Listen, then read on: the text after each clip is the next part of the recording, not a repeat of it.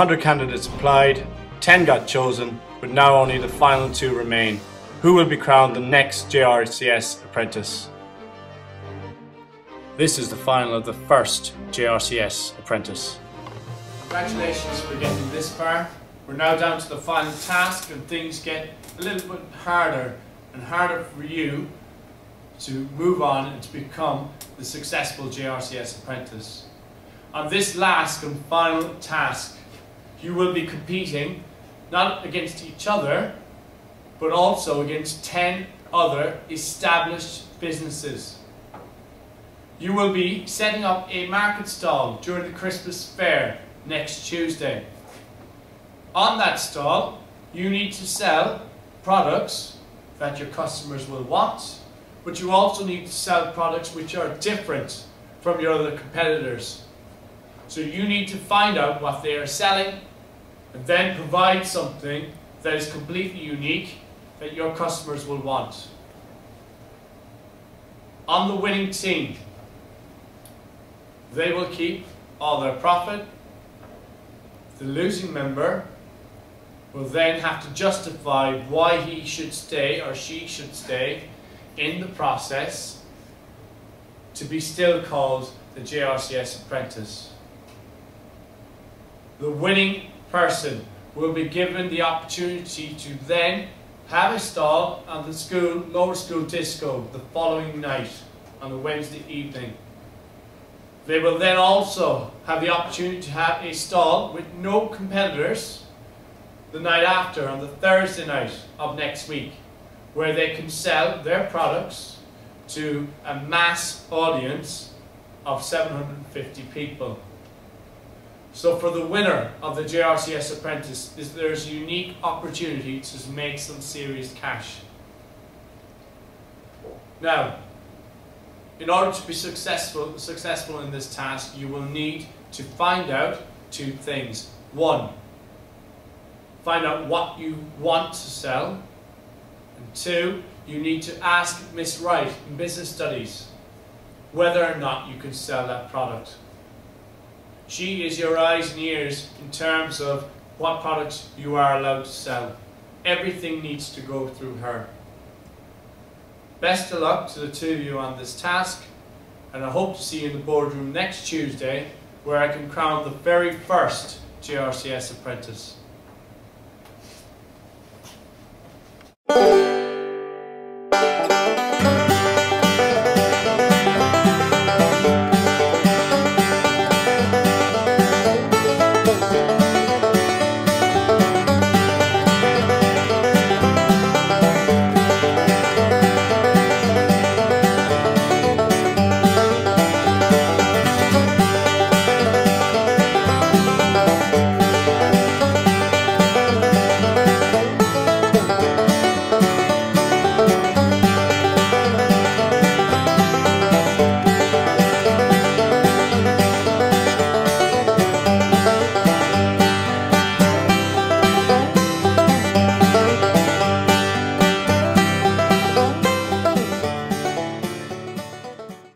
Congratulations uh, for getting this far.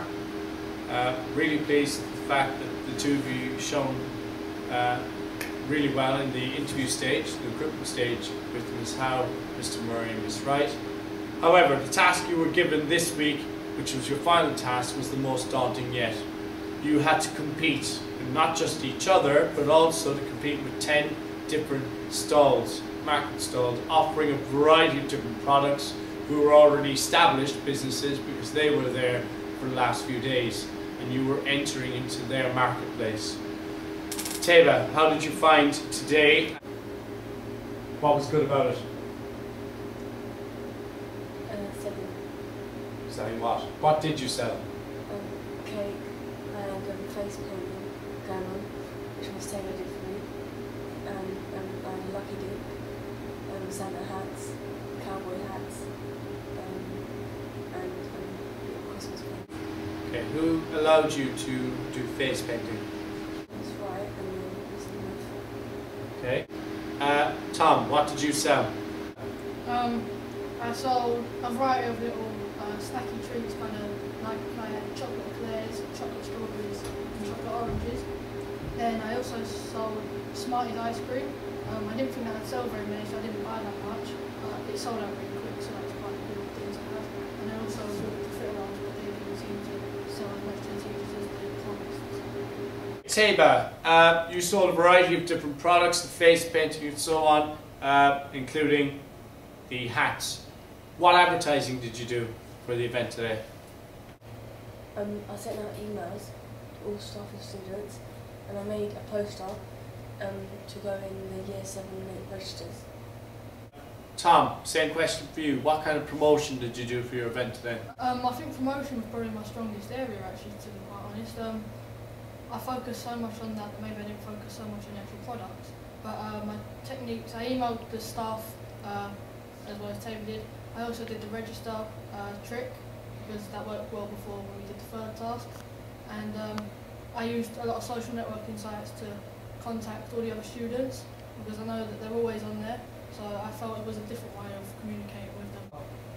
A lot of the people who I normally talk to responded to the uh, the comments and the uh, information that I put on those sites, but um, not a lot of people who I wouldn't normally talk to responded. So maybe that was a little bit of a downside because the people who I normally speak to would give me a hundred percent honest opinion, maybe.